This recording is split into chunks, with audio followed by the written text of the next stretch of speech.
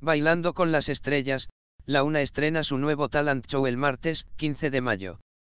Ocho parejas formadas por un famoso y un bailarín profesional se jugarán cada semana la permanencia en el concurso con un estilo de baile distinto.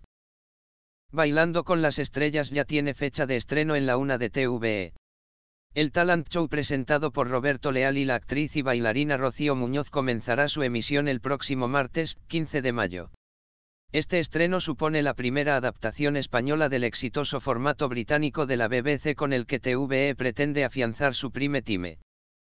Durante el desarrollo del concurso, ocho parejas formadas por un personaje famoso y un bailarín profesional se disputarán en las galas semanales su permanencia en el programa, teniendo toda la semana entre emisión y emisión para ensayar. La pareja se enfrentará cada semana a un nuevo estilo de baile para demostrar su versatilidad y destreza.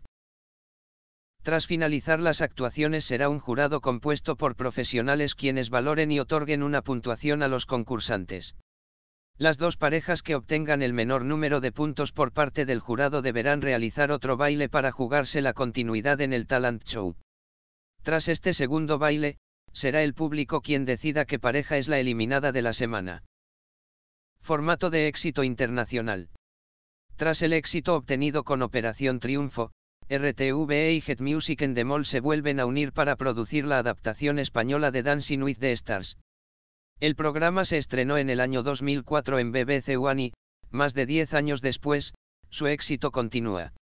El talent ha sido adaptado con grandes resultados en más de 55 países alrededor del mundo y ahora llega a España bajo el nombre Bailando con las Estrellas.